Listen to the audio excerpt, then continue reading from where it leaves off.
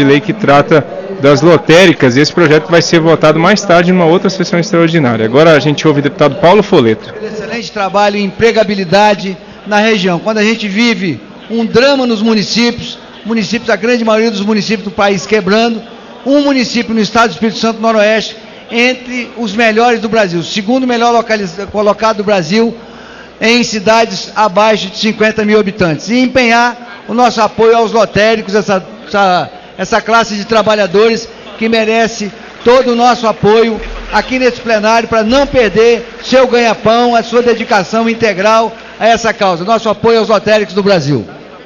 Presidente.